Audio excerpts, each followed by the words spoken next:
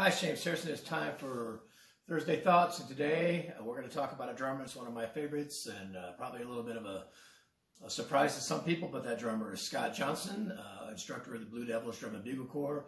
Um, obviously, Scott. One of the reasons I picked Scott as a big drumming influence. Obviously, he's got great ability and stuff like that, but he's just maintained this uh, ability over the years.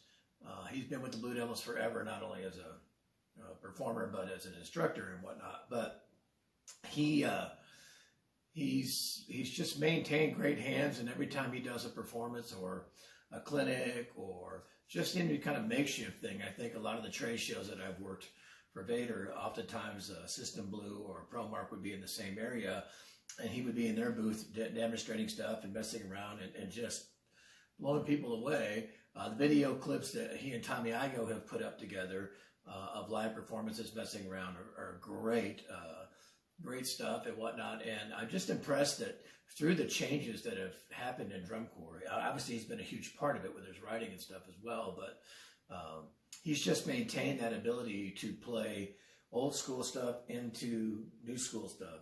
And there's not a lot of people that do that. And not that I see, I'm not saying there aren't, there probably are a lot. I, I definitely know of several. But what I'm saying is I'm impressed by his ability to do that. He's got books out. He's got uh, great things. I've met him several times. He seems to be a nice guy. I know he loves golf, and I'm a big golf addict. But um, anyway, uh, I'm just impressed by his writing and his hands and and uh, the way he plays. I'd be interested in hearing him play a drum set someday.